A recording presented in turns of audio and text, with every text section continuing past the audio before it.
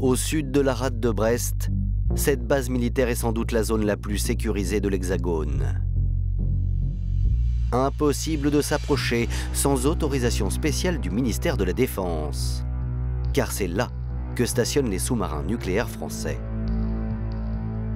Et c'est sur cette base que le lieutenant-colonel François Picard, diplômé de l'école de médecine des armées, occupe un poste sensible.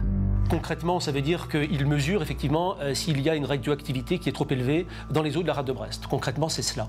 Donc euh, on touche là quand même un domaine un peu particulier. Le lieutenant-colonel François Picard, comme tout militaire travaillant sur cette base, est tenu de garder le secret sur le détail de ses activités. François Picard aurait-il été sur le point de briser la sacro-sainte loi du silence? Aurait-il découvert que le taux de radioactivité de la rade était anormalement élevé? Certains d'ailleurs ont échafaudé euh, toute une théorie là-dessus, euh, comme quoi euh, ce pharmacien, dont on dit qu'il avait une forte personnalité, aurait pu être détenteur de secrets sur, une, sur, une, possible contamination de la rade depuis le temps que les sous-marins nucléaires sont, basés juste en face de, la ville de Brest, hein, sur, ligne longue. Pour étayer cette piste, l'avocat de la famille de François Picard met en avant une série d'éléments. Et le premier intervient moins de 48 heures après la mort du colonel. Le bureau de François Picard va être déménagé par la Marine nationale euh, le, lendemain, le lendemain des faits. Autrement dit, tous les dossiers de François Picard ont été mis à l'abri des regards indiscrets. Pourquoi? Ça paraît curieux. Mais ce n'est pas tout.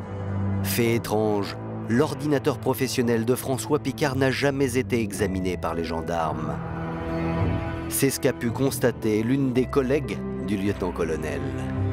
Une chose qui nous a tous étonnés, c'est qu'ils n'ont pas saisi l'ordinateur. Ils n'ont pas saisi son ordinateur euh, de bureau, ce qui, ce qui, nous a euh, étonné, c'est que M. Picard était quelqu'un qui était euh, très, très versé dans l'informatique, en fait. Euh, on imagine mal, on mal qu'il n'ait pas laissé quoi que ce soit comme trace au niveau professionnel dans son disque dur d'ordinateur. Et or, cet ordinateur-là n'a pas été saisi. Une chose est sûre, il n'y a jamais eu d'information faisant état d'une radioactivité suspecte dans la rade de Brest. Mais le colonel aurait-il pu cacher autre chose d'encore plus confidentiel?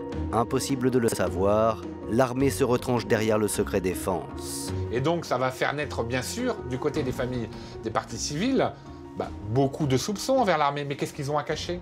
Pourquoi ils ne nous aident pas? Pourquoi ils ne nous parlent pas?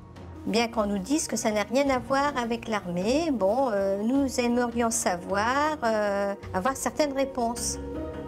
Si justement il n'y avait aucun problème. Pourquoi on ne peut pas aller fouiller un petit peu dans les dossiers? Pourquoi on ne peut pas?